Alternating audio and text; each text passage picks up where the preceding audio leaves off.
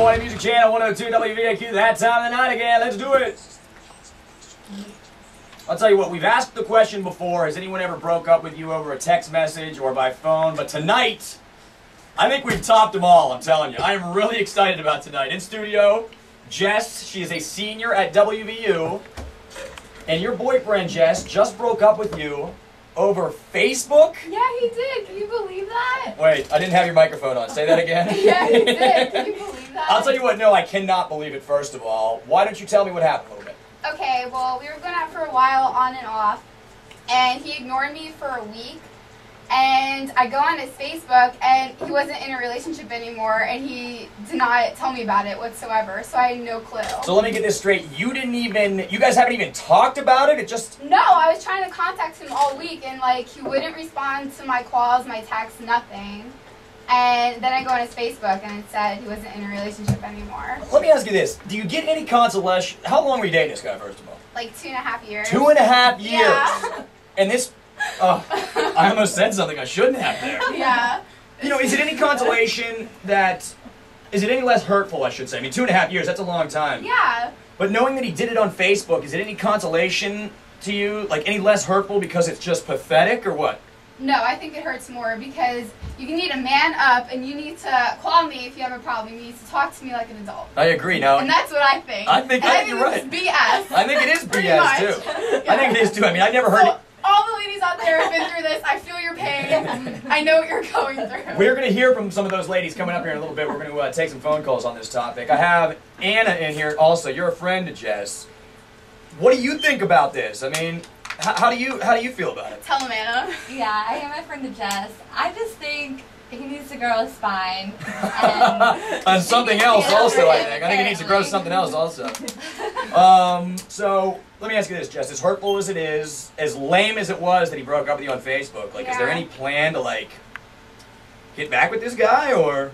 I don't know. I mean, he doesn't seem like himself right now. If like he went back to the person I fell in love with, maybe. But I just think that's shady. That's wrong, and no girl should have to go through. I that. mean, that is the lamest, most coward. You know, it's like man up and just say it to what my I'm face. saying. Yeah, and he ignored me for a week before that happened, and then changed it. Like, what's up with that?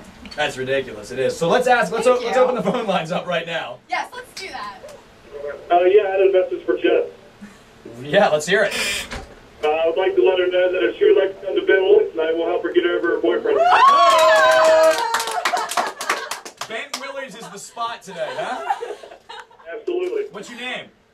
Jacob. Jacob, on a scale from 1 to 10, what do you rate your attractiveness level at? Because I'll tell you this, Jess only dates good looking guys. All right, let's go seven and a half. Seven and a half. Can you do that, Jess? I can do that. All I can work with that. Yeah. Bent Willey's, it's a blackout Tuesday night. Even if she comes down, she won't remember in the morning anyway. Hey, that's fine with me. hey, thanks for the call, dude. BAQ. Hey, I was just calling to talk to Jess. All right, Jess is on. Hey. Uh, hey, Jess, I'm Shadow from Waynesburg. Hi. I'm actually on my way to Morgantown now, but I have a similar story. Actually, my boyfriend, the way he broke up with me on Facebook, he was in another Facebook relationship with someone else. No, that's ten times worse. Oh my Yeah, god. Talk about lame. I'm so sorry. Hi, I just like to say that my boyfriend broke up with me on Facebook, and he had his brother do it. Have He, he had his brother do it. Yeah, No. He couldn't even do it himself. no. Now that is the biggest coward we have talked about all night, right old there. is this guy? How old is he? 18. Oh, yeah. Be a man, Yeah, loser! for Jess, we're gonna let you get out of here. We're gonna get you off the hook. Listen, I really, really appreciate you coming in, Thanks man. For having me. you put yourself out there for everybody, and uh, we really appreciate it, man. You guys ever have anything like this again? I'm sure I will. I'd love to hear We'll about just it. give you all of our We'll give stories. you all yours. All We have right, cool. of them. Cool. Well, thanks so much, ya. ladies. We really appreciate it. Bye. Take care. Troy will show you guys down too, buddy. Awesome. So what do you guys think? You have a good time? Yeah. Yeah, Yeah. definitely. It was a good time. It was pretty funny. Yeah. laughed lot. Did you get all your uh, frustration out, or you still got a little bit left? Or Um, I think it's all out. I think I'm okay. I feel very cleansed. so what's so what's going on after uh, after we leave here? You're gonna think go we're out going and to uh, vent to get that Really? Jacob kid, yeah. and hopefully take my mind off some stuff. So well, you it's can come. I mean, you want to go? it's definitely go. a blackout Tuesday, so I'm sure there's gonna be a we're lot of people Yeah. out. You definitely should come. But yeah, as long as you shots have, are in order. as long as you get uh, get all your frustration out tonight, I think you should be able to have a uh, good weekend. But uh, guys, thanks See for you coming in. We'll talk to you soon.